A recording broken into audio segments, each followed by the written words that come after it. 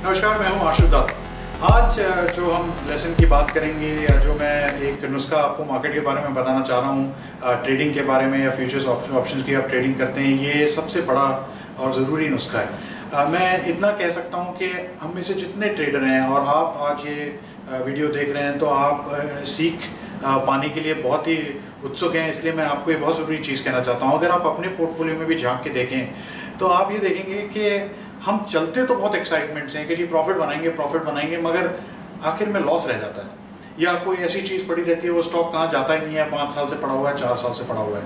तो आज जो मैं आपसे बात करूँगा, उसमें अगर आप ये फॉलो करेंगे, दो चीज़ें आपके लिए पक्के होने वाली हैं। एक, आपका जो कैपिटल जो आपका अपना पैसा है, उसका लॉस जो है बंद हो जाएगा। और अगर लॉस होता भी है तो चार या पाँच या दस परसेंट से ऊपर नहीं होगा। उसके बाद जो आपके प्रॉफिट हैं, आप खुद ही देखेंगे कि प्रॉफिट कितना पड़ना शुरू होते हैं। कितनी ज़्यादा होती है। तो ये जो सीख है बहुत ज़रूरी है। आप ज़रूर इसको बहुत ध्यान से आप सुनिएगा। देखिए मैं आपको एक चीज़ बोलने वाला हूँ। अगर आप आठ में से दस स्टॉक में भी अगर घाटा बनाते हैं, फिर भी आप ओवरऑल बहुत अच्छा प्रॉफिट बना सकते हैं। वो क्यों? जो आप एक स्टॉक खरीदते हो, जैसे मैंने आपसे हमेशा बाकी वीडियो में भी कहा है, बाकी लेसन में भी कहा है कि आप लॉस जो है ना, वो आप उसको आउट ऑफ़ कंट्रोल ना जाने दें। मतलब बीस रुपए के स्टॉक में आप ये लेके ही चलें कि मैं एक परसेंट से ज़्यादा लॉस होने ही नहीं दूँगा। या ओवरऑल आप कोई लिमिट लगाना चाहते हो तो पाँच परसेंट से ऊपर मैं लॉस होना ही नहीं दूँगा। देखिए, मैं तो बीस रुपए की स्टॉक की बात कर रहा हूँ, जो दो हज़ार का स्टॉक है, उसमें पाँच परसेंट भी सौ रुपये बन जाते हैं। तो सौ रुपये तो बहुत बड़ी चीज़ हो गई ना। और अगर आप ये चीज़ लेके चलें, वही स्टॉक अगर एफ़ में हो, या फ्यूचर्स एंड ऑप्शन में हो, हज़ार स्टॉक में, हज़ार रुपये हज़ार के लॉट में अगर आपका सौ का लॉस हो रहा है तो सीधा लाख की चपट लग गई तो वो हम नहीं होने देंगे।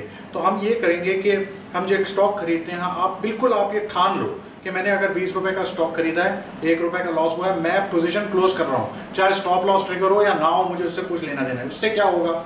तो चले, अगर ये लेके चलते हैं, आपके पास एक लाख रुपए है। आपने एक लाख रुपए दस दस हज़ार करके दस स्टॉक में डाल दिए। तो दस स्टॉक में आपने डाले। हाँ वो एक और चीज़ जो बहुत ज़रूरी है, आप किसी स्टॉक में भी दस परसेंट से ऊपर नहीं डालना। पहली तो आप ये सीख लेके ही चलें। तो दूसरी चीज़ ये है कि आपने दस दस परसेंट हर स्टॉक में डाला। ठीक है? तो आठ स्टॉक में क्या हुआ कि वो दस हज़ार के जो आपने स्टॉक खरीदे थे आ, वो जो दस हज़ार की जगह नौ हज़ार पाँच सौ हो गए या नौ हज़ार आठ सौ जैसे ही आपको लॉस दिखता है आप पोजीशन क्लोज कर दो। आप मतलब एक ट्रेड में जब आप एक पोजीशन लेते हो जो पहली टेक अगर लॉस की हो तो आप क्लोज कर दो क्योंकि मार्केट और आप में एक वो संतुलन नहीं रहा एक बैलेंस नहीं है। मार्केट कुछ और सोच रहा है आप कुछ और सोच रहे हो। तो इससे क्या होगा? आप बहुत सारे लॉसेज लोगे, मगर लॉसेज हमेशा छोटे होंगे। जैसे बीस रुपए के स्टॉक में आपने एक रुपए का लॉस ले लिया तो आपका सिर्फ़ एक रुपए का लॉस हुआ।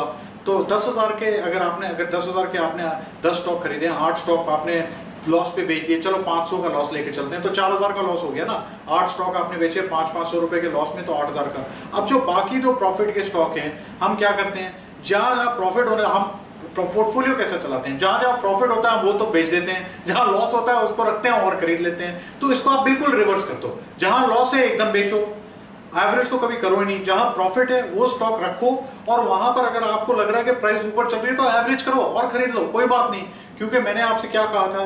आपकी खरीदने वाली प्राइस महँगी तब है जब स्टॉक नीचे गिरता है। अगर 20 से 18 होता है तो स्टॉक महँगा है। अगर 20 से 22 होता है तो स्टॉक सस्ता है। जो आपकी खरीदने वाली प्राइस है, उससे सेल्स प्राइस ज़्यादा मिली आपको। तो ये बहुत ज़रूरी बात है। इससे क्या होगा? अगर आपने जो बाकी दो स्टॉक लिए हैं, उसमें अगर प्रॉफिट होना शुरू हुआ तो ये मान के चलें कि वो दस हज़ार का स्टॉक जो है, बारह हज़ार या पंद्रह हज़ार हो गया। तो पंद्रह पंद्रह हज़ार के दो स्टॉक हो गए, वहाँ दस हज़ार का प्रॉफिट हो गया और बाकी आठ स्टॉक में आपने पाँच सौ लॉस में बेच दिया तो वहाँ आपका चार हज़ार का लॉस था। तो ये आपके दस हज़ार प्रॉफिट में, चार हज़ार लॉस में छः हज़ार आपने फिर भी बनाए। चले, ये मान के चले कि दस में से दस स्टॉक में लॉस हो जाए तो फिर क्या? फिर भी अगर आप 500 की लिमिट लगा के चलेंगे तो 10 आपने लाख रुपए लगाए। उसमें लाख रुपए में से आपका पाँच पाँच सौ का दस स्टॉक में लॉस हुआ। फिर भी टोटल लॉस जो है आपका सिर्फ़ पाँच हज़ार का हुआ। नाइन्टी फाइव थाउज़ेंड तो फिर भी आपके रहे ना। तो ये बहुत इंपॉर्टेंट सीख है। जब तक आप अपने लॉसेस को कंट्रोल करना नहीं सीखेंगे और इसमें आप ठान लें। ऐसा है कि एक एक आपको चोट लगती है, खून निकलना शुरू होता है। आप नहीं बोलते, चलो और खून निकलना है। तो लॉस तो खून जैसे ही हो गया ना। पहले तो आप पट्टी लगाएँ, उसको बंद करें। तो लॉस आप आठ, नौ, दस, जहाँ दस में से दस स्टॉक में लॉस है, आप ले लें। और आप अपने आप को शाबाशी दें कि आप में इतना कंट्रोल है कि लॉस आप होने ही नहीं देते। और प्रॉफिट जहाँ उसको चलने दें। नौ या आठ स्टॉक में से अगर उसमें लॉसेस हो, एक स्टॉक में भी प्रॉफिट हो, और अगर आप प्रॉफिट चलने दें और लॉसेस को कंट्रोल करें तो आपका, आप फिर भी मार्केट में हमेशा प्रॉफिट होता है। अपने लॉसेस को बंद करें। आप में, आप अपना पोर्टफोलियो देख लें।